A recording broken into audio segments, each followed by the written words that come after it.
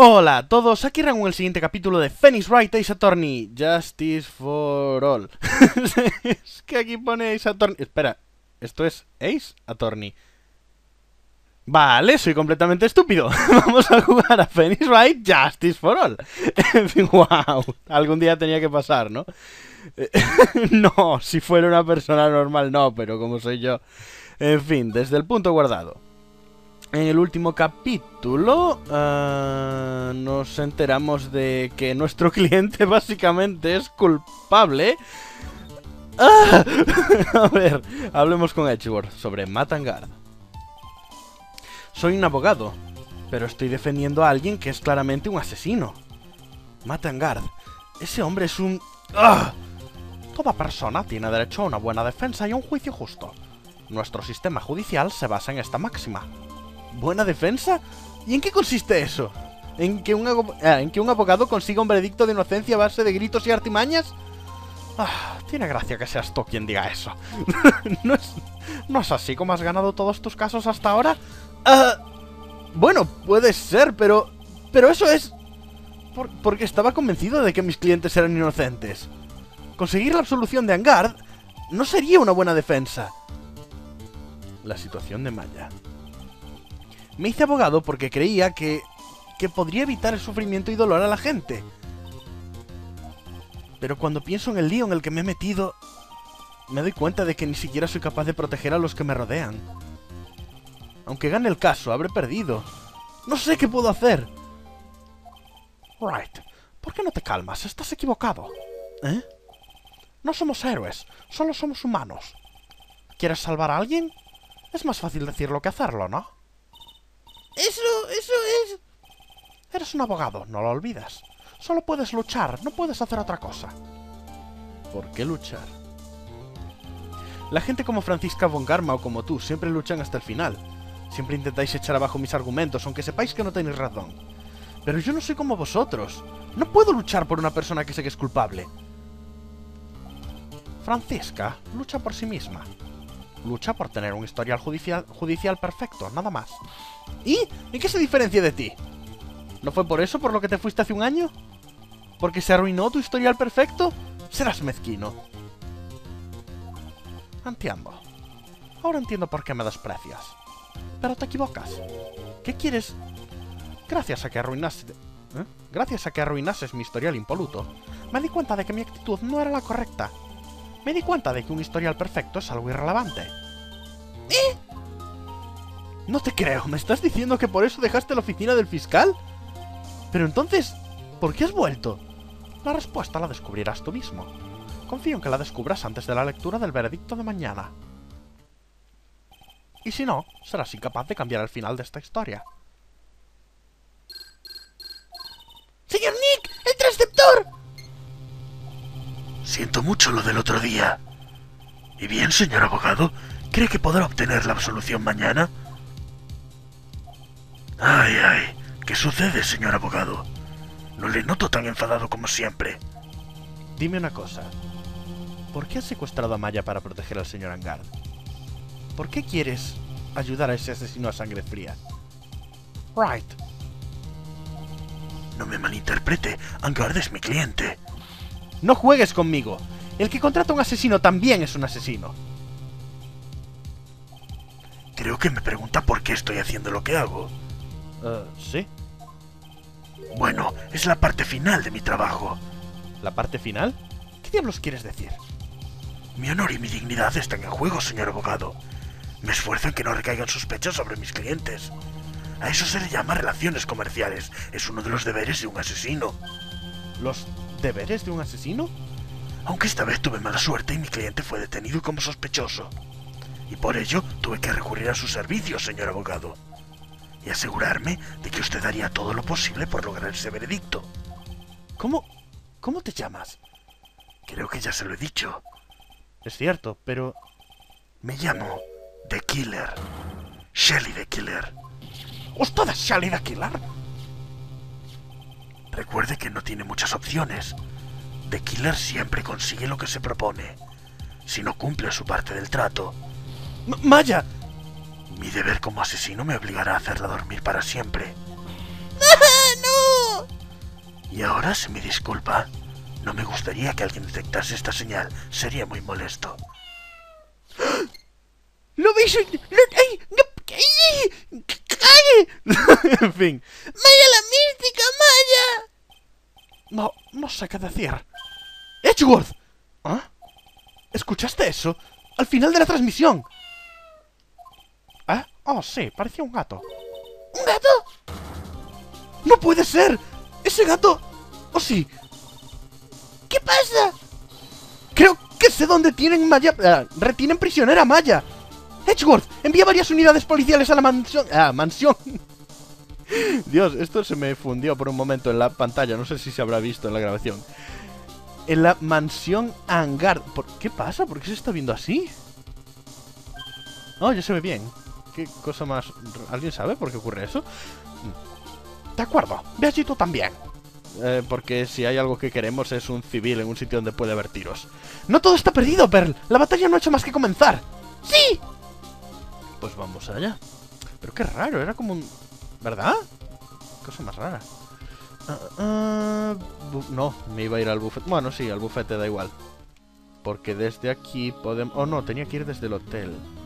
Desde el hotel... ¿Qué forma de cargar? Es por culpa de la mancha eso que apareció de repente. Me, me cortó completamente el rollo. Ah. Ah, sala de estar. Debería llamarse Mansión Hangar. 22 de marzo, Mansión Hangar. Sala de estar. ¡Ah! ¡El osito que estaba dentro ahora está fuera! ¡Rápido! ¡Maya! ¡Contéstanos, Maya! Hemos rodeado toda la zona, no hay forma de que puedan escapar. Si es que siguen esta zona. No puedo creerlo. Ese mayordomo era de Killer. Y Ala estuvieron trabajando juntos todo este tiempo. Seguro que habían tramado un plan de emergencia. Venga, venga, venga, venga, venga, venga, venga, venga. Osito, no me falles. ¡Un muñeco de un oso! Pero está lleno de cortes, no sé por qué. Muñeco añadido al acta del juicio. ¿Un oso? Esto es más propio del señor Rivera. ¿Qué hace esto aquí? Right, mira, ahí abajo hay una puerta pequeña para mascotas. ¡Ah! ¡Seguro que es para zapato! ¿Crees que esto salió de esa puerta pequeña? Hmm, la puerta está cerrada. Bueno, estoy acostumbrado a echar puertas abajo. ¡Vamos, Edgeworth!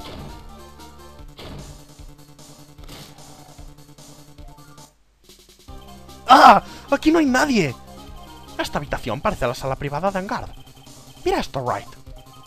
Una antena para enviar y recibir señales. Y una grabadora de vídeo. Mira a ver si hay una cinta dentro. Podría ser una prueba clave. Puede que incluso tengamos suerte y esté grabado el crimen. Lo siento, pero... La grabadora está vacía. No hay ninguna cinta. ¡No! Pero está claro que alguien usó esto para grabar algo. Quizás cogió la cinta que estamos buscando y escapó con ella.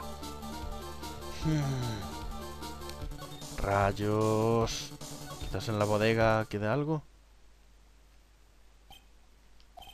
Hemos buscado por todas partes, pero parece que se escapó. Lo siento. Se nos ha escurrido entre los dedos. Hemos perdido nuestra pista principal. No te rindas. Esta niña necesita que te mantengas fuerte. Sí, tienes razón. Sé que estamos cerca. Vamos a poner puntos de control en todas las salidas de este distrito. Confía en nosotros. Vaya. ¿Y qué es esto que nos dejó en el suelo? Parece una foto de la señorita Impax. Con amor celeste. ¿La señorita Impax? Sí, la antigua manager de Juan Rivera. ¿Y qué hace una foto de la señorita Impax en la mansión del señor Angard? ¿Y por qué dice con amor? Ah, esto podría ser una pista. Foto de celeste, bla, bla, bla. ¿Qué pasa, Pearl? ¡Déjeme ver el marco de esa foto! ¿Eh? ¿Qué tiene de especial el marco? ¡Hay algo escrito en el reverso del marco! Maya. ¡Es Maya la mística! ¡Nos ha dejado un mensaje! ¿Qué? Pues venga, a mirarlo. Sabía que vendrías, lo sabía. Escucha, tienes que conseguir que declaren culpable a Angard, ¿vale? Como absuelvan ese gusano miserable, no te, no te lo perdonaré nunca. Estoy bien, no te preocupes. Quisiera escribirte muchas cosas, pero no tengo mucho tiempo. Pearl, seguro que estás también ahí, ¿no? Ayuda a Nick, ¿vale? Alguien tiene que cuidar de ese desastre. Mm, y eso es todo. Espero hablar con vosotros luego. Eso es yo. ¡No! ¡Maya! Right. ¿Qué pasa? Tienes la mirada perdida. Ah, nada. Hemos buscado por toda la casa. Este es el último cuarto. Se ha escapado. Edgeworth. ¿Sí? En lo que a pistas se refiere, esto es todo lo que voy a conseguir. Pero aún me queda una última cosa. ¿Al qué?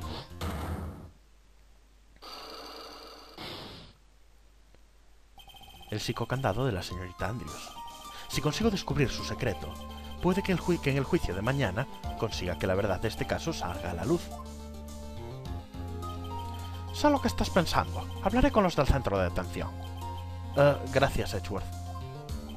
Vamos, Pearl. Es hora de abrir el último candado. 22 de marzo. Centro de detención. Cuarto de las visitas. Gracias por llevarme directamente, juego. Buenas noches, señor Wright. ¿Qué sucede? Parece enfermo. Señorita Andrews, he venido a quitar su psicocandado. ¿Psicocandado? Quiero que por fin me cuente su secreto. Vale, adelante, inténtelo.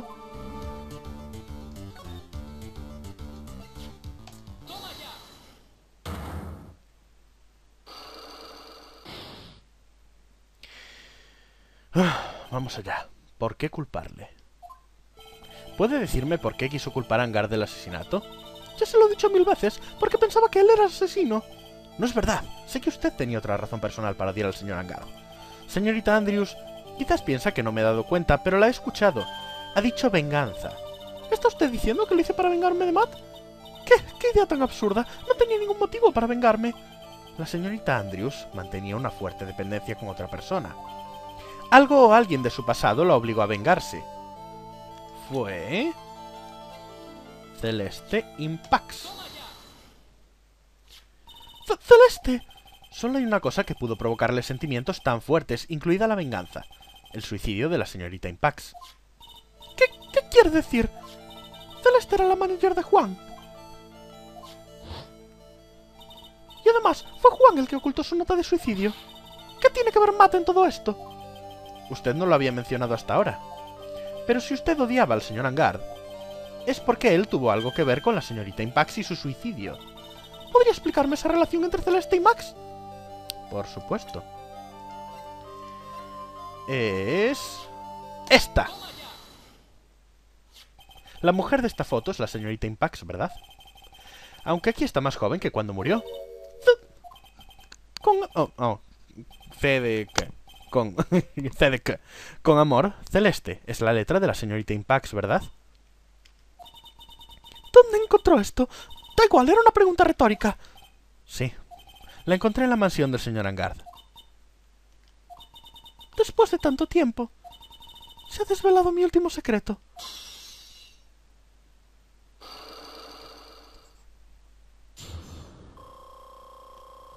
Oh, mira qué guay. Voy a ir al juicio con la barra llena. Espero. ¿Por qué culparle? Celeste iba a casarse con Juan. Sí, pero me dijeron que no funcionó. Porque el señor Rivera ya no quería casarse con ella, ¿verdad? Sí, por culpa de Matt. ¿Por culpa del señor Angard? ¿Qué quiere decir? Creo que entiendo por dónde van los tiros. Celeste fue la manager de Matt hace mucho tiempo. En aquella época era la mujer más feliz del mundo. Yo entonces trabajaba con ella a tiempo parcial y les vi muchas veces juntos. Y por eso... No, y por eso, en esta foto está escrita la frase con amor celeste. Eran pareja, ¿verdad? No, no eran algo tan bonito. Angard usó a Celeste como un juguete. Y luego la tiró a la basura. ¡Qué horror! La imagen pública de Matt es la de un hombre bueno y agradable. Un escándalo habría arruinado esa imagen. Por eso Celeste se trasladó a Worldwide Studios para no perjudicarle. Y allí conoció a Juan. Parecía muy feliz con él, más incluso que con Matt. Celeste y Juan hacían muy buena pareja, incluso tenían planes de boda. Pero el enlace se anuló, repentinamente. La noche en la que Juan dejó a Celeste, ella se suicidó. Por eso quería culpar a Matt, para vengarme por Celeste y por mí misma. Venganza. Hasta usted podrá imaginarse por qué Juan rompió el enlace, ¿no? Matt le confesó a Juan que había tenido una relación con Celeste. Ya veo, ahora entiendo lo que ocurrió. Pero... ¿Por qué el señor Juan canceló el compromiso? No lo entiendo. Seguramente por su orgullo machista. Juan y Matt siempre habían rivalizado en todo. Matt esperó a que Juan anunciase el compromiso para soltarle la verdad. Esperó el momento que más daño le hiciese a Juan.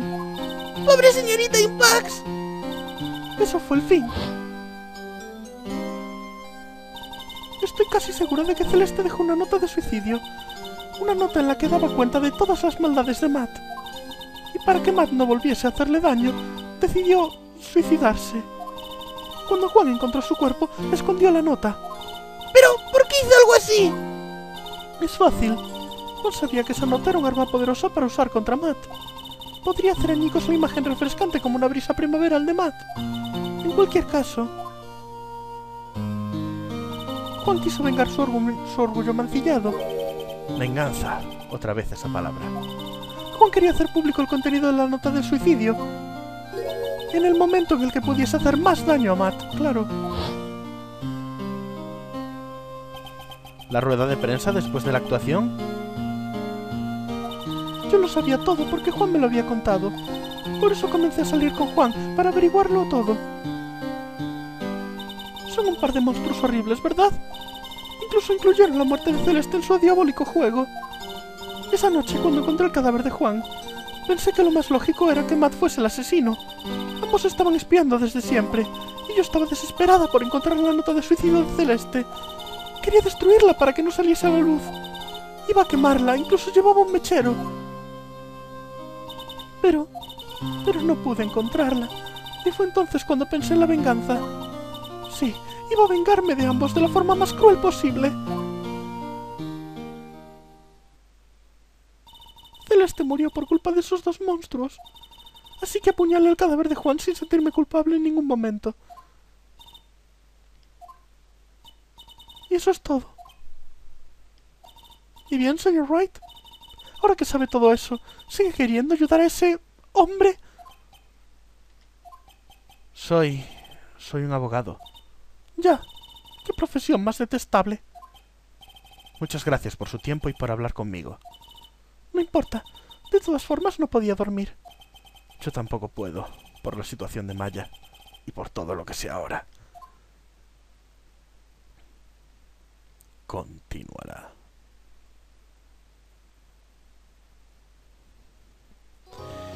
¿Sabéis? Es algo que he dicho muchas veces. Cuando alguien te hace reír, lloras mucho más por él.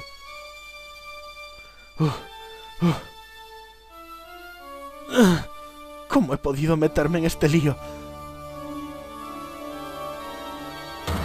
¡No es suficiente! ¡No puede correr eternamente! ¡Phoenix Wright!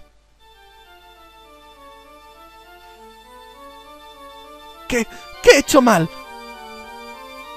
No, no puedo permitir que siga así.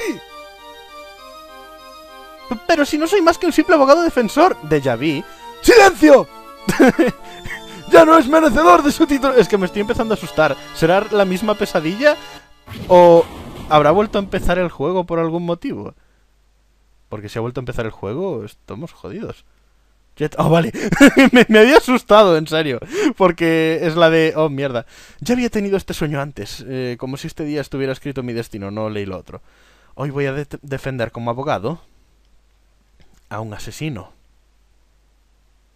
Van dos veces que me cargo el momento por motivos técnicos. Perdón. 23 de marzo, 9.43, Tribunal del Distrito, Sala de Acusados número 3.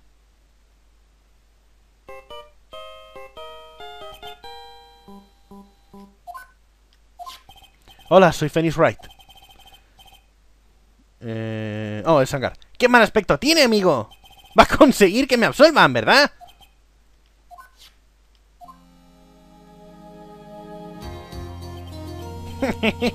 Señor abogado, recuerde que no se trata solo de mí, la vida de su amiguita también está en juego. Escucha, tienes que conseguir que declaren culpable a Angar, ¿vale? Como absuelvan ese gusano miserable, no te lo perdonaré nunca. Vaya. Fénix, Fénix. ¡Oh! ¡Mía! Maya, ¿cómo está? No lo sé. ¿No lo sabes? No he intentado canalizarme desde ayer. Mía, ¿qué, qué voy a hacer? Bueno, ya te lo he dicho. El peor momento de un abogado es cuando tienes que fingir la mejor de tus sonrisas. Pero no puedes rendirte. Todavía quedan esperanzas. Cállate, por favor. No hay nada que hacer. Ni aquí ni en ninguna parte. ¿Otra vez? ¡Ah! ¡Otra vez este dichoso hangar! ¡Quiere dejarme en paz! Mire, no vuelva a llamarme, se lo digo en serio. ¿Por qué me hablas así, amigo? ¡Ah! Gumshow, lo siento muchísimo. ¿Dónde está? Me han dejado unirme al equipo de investigación. Buscamos a The Killer. ¿Pero tienen alguna pista? Lo siento, pero de momento no hay nada que nos lleve a ese tipo. Pero no vamos a rendirnos. Gumshow. Hasta que el juicio termine, hasta que se emita un veredicto, haremos todo lo posible por encontrar a The Killer. Si podemos liberar a Maya, podrás conseguir que declaren culpable a ese canalla. Es cierto, si encuentran a Maya podré hacerlo. ¿Comprendes? Tienes que hacer que el juicio dure lo máximo posible. ¿Prolongar el juicio lo máximo posible? Si el señor Edgeworth y tú unís las fuerzas, seguro que lo conseguiréis. Oh, ahora lo entiendo. Confía en ti, amigo. El señor Edgeworth y tú podéis conseguirlo. Bueno, confía en nosotros. Vamos a esforzarnos al máximo, como tú. Entendido. Gracias, Gamshow. Adoro a Gamshow. ¡Hey, Fénix! Ahora lo entiendes, ¿verdad? Tienes algo que no se puede comprar. La amistad. Es el arma más poderosa del mundo y tú la tienes a rudales. Sí.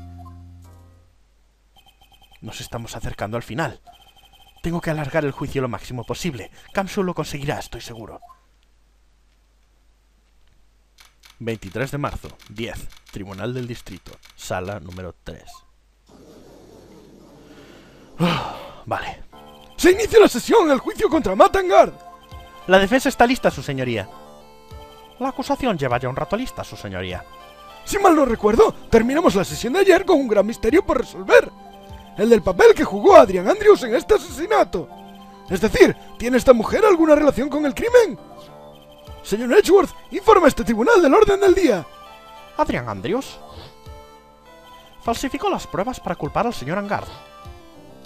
Y luego huyó de la escena del crimen disfrazada de samurái de níquel. Pero de lo que no podría huir es de su culpa. Ah, ¿Nos está diciendo que ella es culpable? No he terminado, su señoría. La señorita Andrews no fue la que cometió el asesinato. Quiero que presten atención a esta carta. ¿Qué es eso? Parece una concha.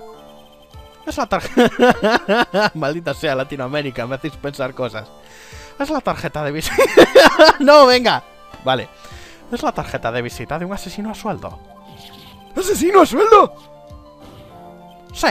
Juan Rivera murió a manos de un asesino profesional. Y la persona que le contrató, su cliente, no es otro que Matangard. ¿Qué? ¿Qué giro más inesperado? Creo que está demostrado, su señoría. Oh, creo que está demostrado, su señoría. Ya sé lo que va a pasar ahora. Todo lo que ha dicho Edgeworth es cierto. Pero tenemos que aguantar todo el tiempo que podamos. Por lo menos hasta que Maya esté a salvo. ¿Qué pasará hoy en el juicio? Llama a su primer testigo, señor Edgeworth. La acusación llama al mentor del acusado, el señor Powers. Tío, cámbiate de ropa ya, pobre hombre. Bien, testigo, su nombre y profesión, por favor. Muy, muy bien. Me llamo Will Powers. Soy un actor modesto y mal pagado. ¿Qué relación tiene con el acusado? Bueno, podría decirse que fui su mentor. Un mentor un poco cutre, eso sí. Ah, señor Powers, no hace falta que se rebaje tanto. Ah, lo siento. La verdad es que soy un poco negativo. En la noche del crimen, usted visitó al, eh, al acusado en su cuarto. ¿Es cierto? Sí. No, no sabía eso. Verá, en realidad no iba a ver a Matt. Limítese a contestar lo que le pregunten. Bien, querría que nos hablase de esa visita al cuarto del señor Angard. Eh, muy bien. Fue a ver a Andrews. Visita a Matt.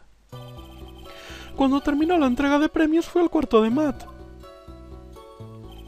Matt estaba en la puerta de su cuarto. Todavía llevaba su traje de samurái de níquel. Estaba hablando con alguien. Al principio pensé que era el Botones. Les estuve observando, pero me cansé y di la vuelta. Estaba con unos amigos y no quería hacerles esperar. Éramos nosotros. ¡Ah! El testimonio del señor Powers parece coherente. Y hablar con el botones no parece muy interesante. Suponiendo que la persona que hablaba con Engarth, con Engarth fuese realmente un botones. ¿Qué? ¿Qué insinúa? Bueno, Wright, puedes comenzar con tu interrogatorio. Estamos otra vez en una situación delicada. ¿Eh? Una trampa. ¿No te das cuenta, Fénix? Pero para descubrir más cosas tenemos que atacar donde más duela.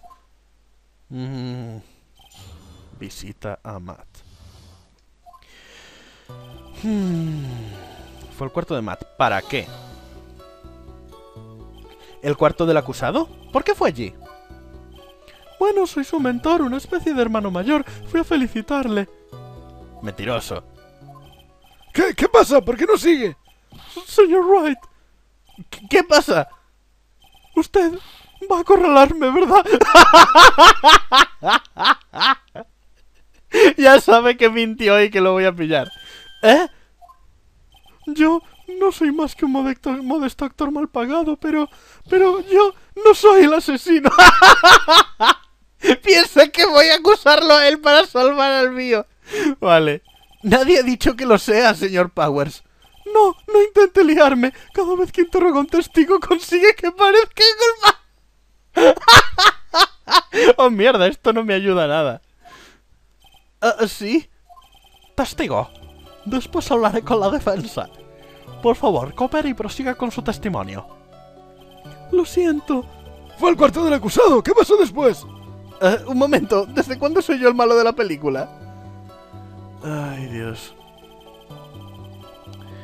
Hablemos un poco más, yo más que nada por saber cosas. ¿Seguro que era Matangard? Sí, estoy seguro. No llevaba puesta la máscara del samurái de níquel. Si eso es cierto, es imposible que se confundiese. ¿Eh? ¿Qué hacía el acusado en la puerta de su propia habitación?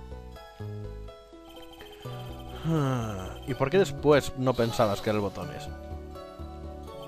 ¿Al principio? ¿Qué quiere decir? Bueno, llevaba un uniforme parecido y una bandeja con una botella de zumo. Pues entonces sería un botones.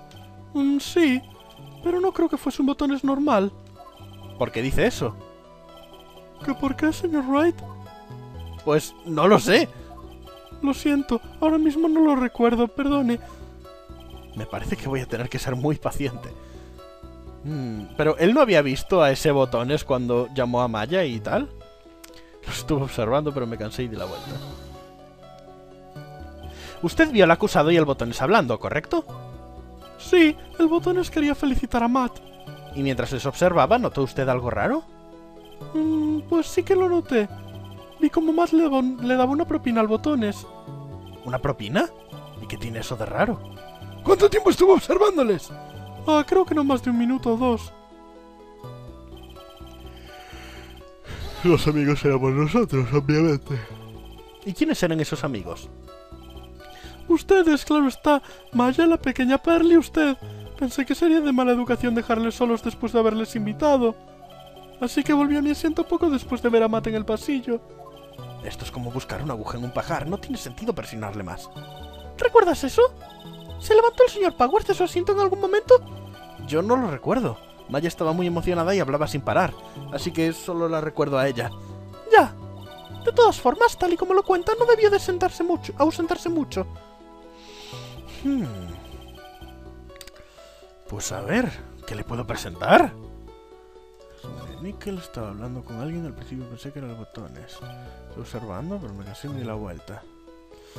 A ver, vamos a revisar nuestras pruebas, porque yo no me di cuenta de que tiene de raro su...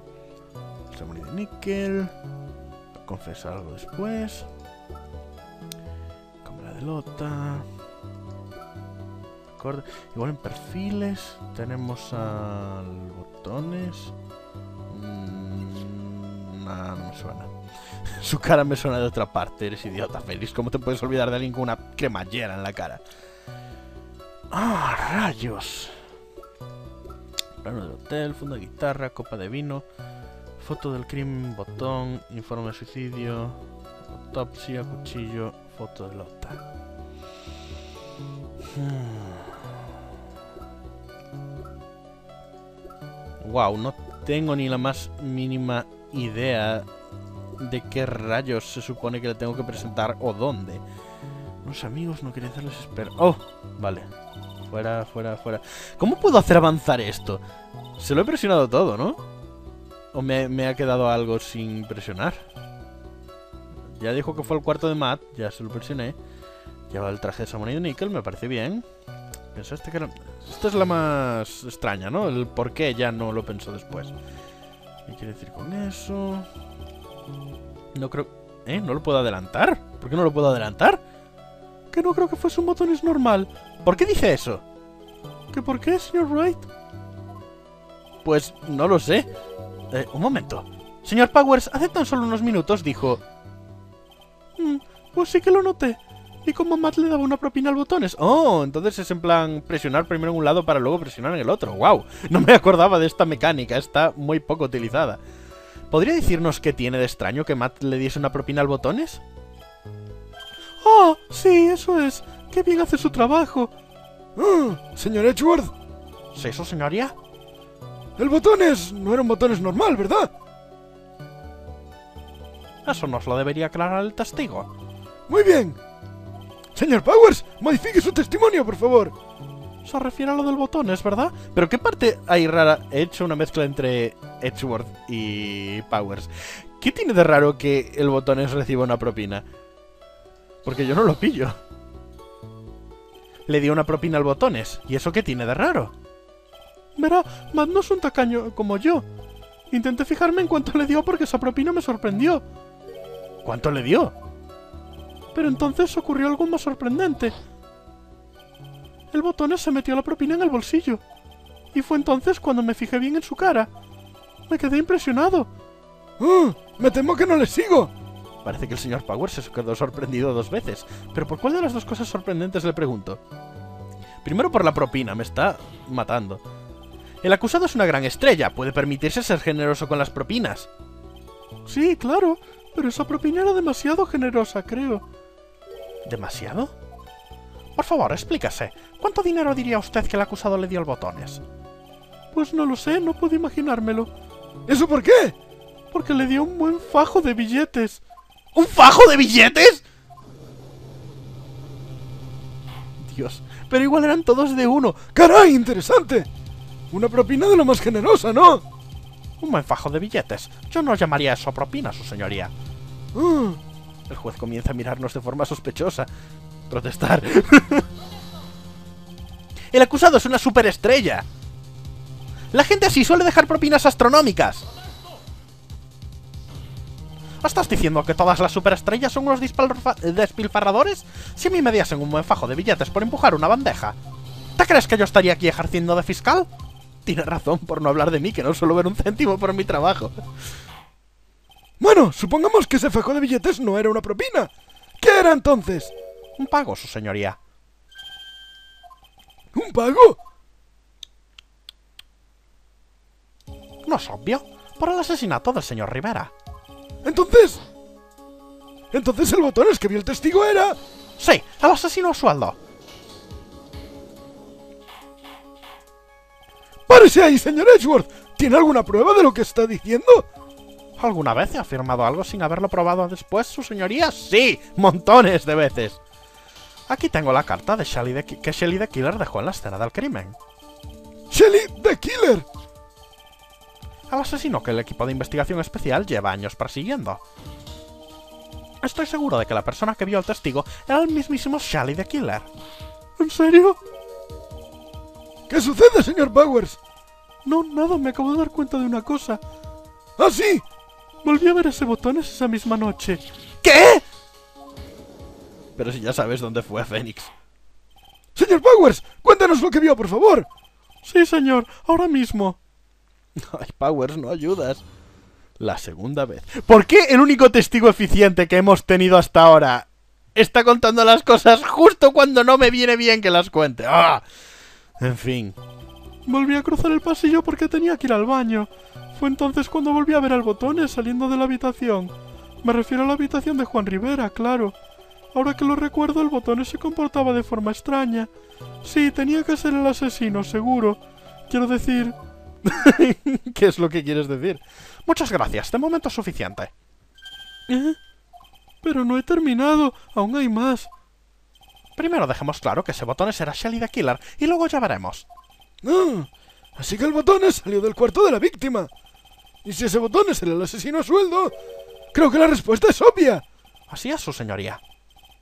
Bueno, Wright, es tu turno para entretenernos y hacernos reír. ¡No es un momento de risas! Pobre Fénix. Está perturbado ya. La segunda vez. Vale. ¡Presión! No tenías que ir al baño, yo qué sé. ¿Qué hora era? Ah, no lo recuerdo. La entrega de premios terminó sobre las 8, ¿no? Y fui al cuarto de Matt poco después, luego volví y después fui al cuarto de baño. Pongamos que era las 8 y 10. No es usted muy preciso, ¿verdad, señor Powers? Lo siento.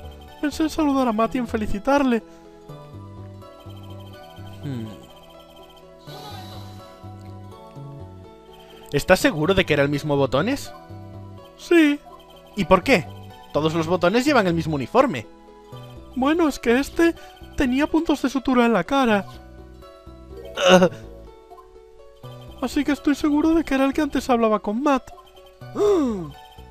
Entonces, ¿de qué habitación salió el botones? Rayos, Juan Rivera. Del cuarto de la víctima, ¿eh? Sí, del de las flores bonitas y los osos de peluche. Sí, era el cuarto de Juan. Estoy tan planchado que no se puede describir con palabras. Ah, sigamos con su testimonio, ¿de acuerdo? Rayos. Se comportaba de forma extraña. Um, ¿Por qué dice que se comportaba de forma extraña? Right, right, right. ¿A qué viene esa mueca? ¿A que no tengo ni idea de qué barbaridad va a soltar, quizás? Oh, bueno, porque el botones no llevaba nada. ¿No llevaba nada? llevaba nada, llevaba nada, llevaba nada. Estúpido botones y su erotismo. Ese botones se ocupaba del servicio de habitaciones, pero ni empujaba un carrito ni llevaba una bandeja. Un poco extraño, ¿no le parece? ah, sí que lo es, señor Powers. Pero, ¿de verdad es tan raro que un botones no lleve nada? ¿Qué hago? ¿Dejo pasar el testimonio del señor Powers o...? ¡Protesta! ¡Maldita sea! No hay nada... de- ah, no hay nada raro en que un botones no lleve nada. Sí, es raro. ¡No es raro! es súper infantil. ¿Habéis terminado de discutir como chiquillos? Los botones se ocupan del servicio de habitaciones. Siempre llevan algo. Solicito que la declaración anterior del testigo sea reemplazada por esta. Edgeworth. ¿Está dispuesto a todo con tal de hacer parecer sospechoso el botones? ¡Entiendo! Bien, este tribunal reconoce y acepta la solicitud de la acusación. Señor Powers, modifique su testimonio, por favor. Sí, sí, señor. Mmm, interesante. Con las manos vacías, algo raro para un botones. Ah, ah, la co- no. pensemos, pensemos, pensemos. Dios, soy idiota.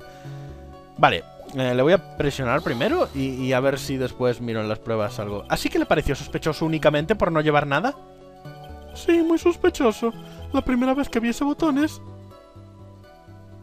Llevaba una bandeja. Una bandeja con una botella de zumo y una copa de vino. ¿Zumo? ¿Qué tipo de zumo? De tomate. Un zumo de tomate, estoy seguro, sí.